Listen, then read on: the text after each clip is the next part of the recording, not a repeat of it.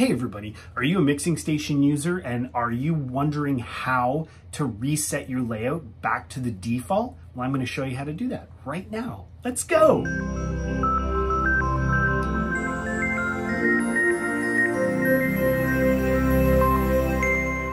If you're not new to Mixing Station, you probably don't need this video, but for those of you who are new to the app, if you've maybe been messing around with creating your own layout or you've edited a layout that was already there and now you can't get back to the original, this is how you're gonna do it. Before we start, I'm gonna say this will delete any layouts you've made.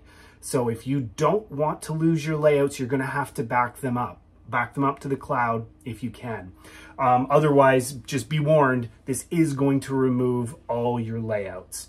So what you're going to do is you're going to come up to the settings cog and you are going to go to the layouts button. And then up here in the right corner, there's a little uh, circle back button, which looks like it's an undo button. And I guess it sort of is because it undoes all of your layouts. So if you click on that, it's gonna bring up a little box asking if you wanna remove your layouts and you're gonna say yes. And then what you should do is go back to the app tab and under general, open up the setup wizard and then step through the setup wizard again until you are complete. And then that should bring you back to a pretty general, pretty generic default layout.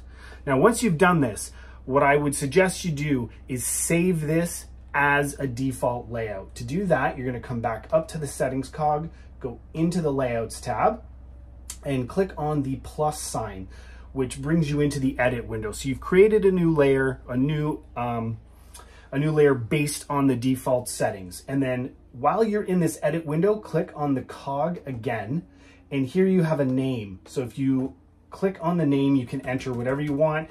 So I'm gonna name this default layout and then hit apply. And now if we go back and have a look at our layouts, we have one here called default layout. So now you can build anything you want and you know you've got a default to jump back to if you're not happy with the stuff that you created. That's it. I hope this was interesting, educational, entertaining. If it was any of those three things, please like, share, and subscribe. Uh, you can help us out by joining Patreon, or you can help us out by doing a super thanks just underneath the video. Anything you do is greatly appreciated. And until we see you next time, thanks for watching here on Quick and Easy Quickies. Bye.